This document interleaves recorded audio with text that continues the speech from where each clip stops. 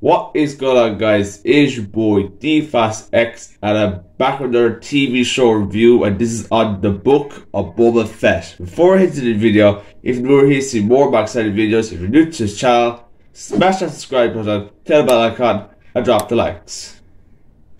So I finished all seven episodes of this series, and I absolutely enjoyed it. The Book of Boba Fett is, was a really good show. Guys, I just want to say is if you're new Star Wars fans out there, please watch the Book of Boba Fett. I recommended you watch it. You're going to love this series. So the story continues on with Boba Fett. Remember in the Return of the Jedi where he fell into that pit? This is the continuation of the continuation story of it, where he actually escaped out of it. Obviously, you probably saw because in the Mandalorian season two, he had, of course, escaped, and we didn't we didn't even know how he escaped, but we now know how did he how did he actually escape out of that creature, and it was really interesting to see. He actually got out of his, obviously with his weapons and stuff. Uh, uh, he got uh, cap was a captured, but say he got taken away by the the Tusken Raiders, and obviously the Tusken Raiders also known as the Sand People in Tatooine. Uh, he was held hostage there for a while but he eventually started to kind of be part of their tribe, and uh, they and he helped them to kind of get back their stuff they needed, and uh, uh, he also teach them how to use a speed a speeder as well. And this meme came out of nowhere. It goes like a bantha. Yes, it was one of the funniest things that just came out of nowhere. But uh, throughout the story, he kind of helps with the the tribe and see if he, see if he can get all their stuff back and stuff by the evil the evil uh, villains called the pipe the, the pipe syndicate and they're the main villains of the series series as well uh, but uh, story continues on with him becoming part of the tribe and wearing one of their clothes as well and their weapons as well and so he saw this other bounty hunter called Fennec Shand and he helped her because she was she got shot or something. She, uh, she was uh, she was kind of running out of blood or something. So what he did was she what he did was he brought her to some kind of mechanic and kind of fixed her up a bit with, with robotic robotic kind of uh, mechanisms inside of her, which was interesting to see. But uh, eventually, did Boba Fett and Fennec Shand team up together and obviously take down the Pipe Syndicate as well. But things heat up a bit as well with uh, some familiar characters coming back into it. And I talk about this one right here The Mandalorian. He reappeared in this series. I when I saw it, I could not believe it. And like, there's one particular episode that there's no Boba Fett at all. Boba Fett does not be shown in the, in the episode. All. It's all just the Mandalorian. It feels like just it's an actual Mandalorian episode. But uh, he teams up with Boba Fett as well, and um, you know fighting down the, the pipe syndicate and stuff because Boba Fett needs help on it as well. Uh, but but there's other characters as well I need to show you as well, and this one right here, Black Crescent, if I'm pronouncing his name right.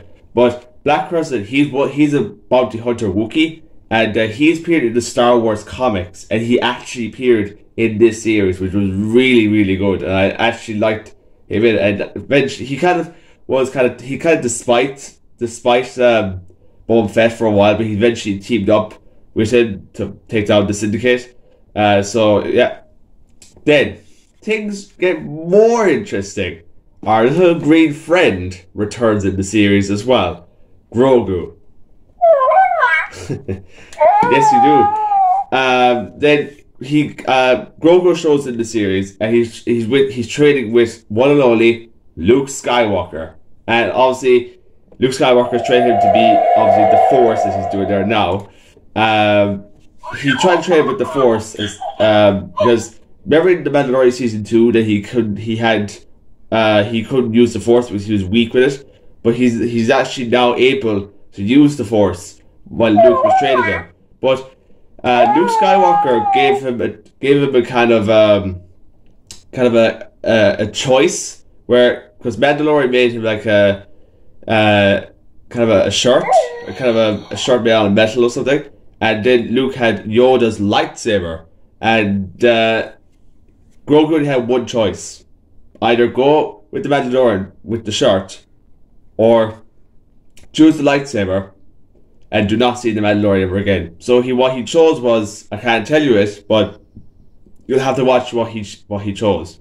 But uh, seeing uh, Mandalorian and Grogu come back together, it was so so good, and you know I can cannot wait for the Mandalorian season three. But then other characters I want to tell you as well is this one here, Ahsoka Tano. I did not know she was going to appear in the series. As she obviously she's talking to Luke Skywalker, obviously about reminding of his father, Darth Vader, and of course. Uh, Darth Vader is supposed to be appearing again this year in the Obi Wan Kenobi series, which I'm very excited for that.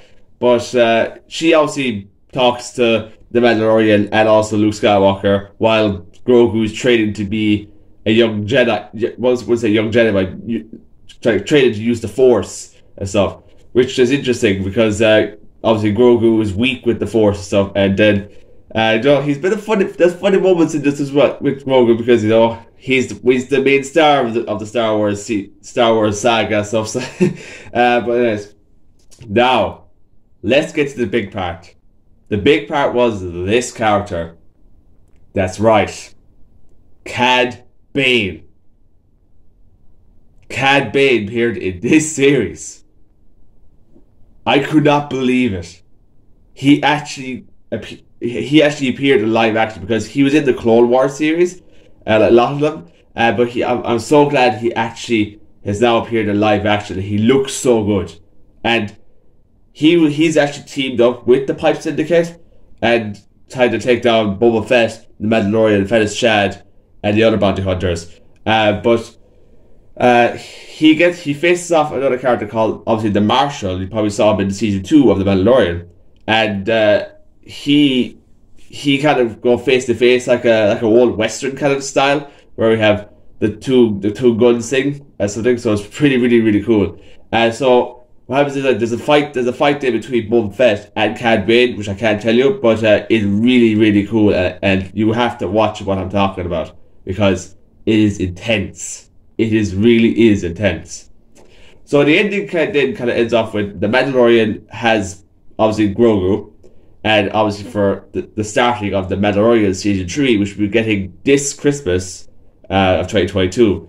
And then I'm not sure will there be a book, the Book of Boba Fett season two yet, but I just want to say is that when you watch this series, it kind of is starts it starts very slow at the beginning, but things get to heat up when you watch it. But it really, really is, is interesting to watch. And uh, uh, overall, I absolutely enjoyed the Star Wars series. And as I said, I'm not sure will it be in season two yet, but I will just stay tuned to find out. But overall, I give this a 9 out of 10, 5 stars. Guys, all separate episodes are on Disney Plus right now. Go watch it. You're gonna love it. You're gonna see all interesting characters in it than just Boba Fett. You're just gonna love this series. So that is my review of the book of Boba Fett.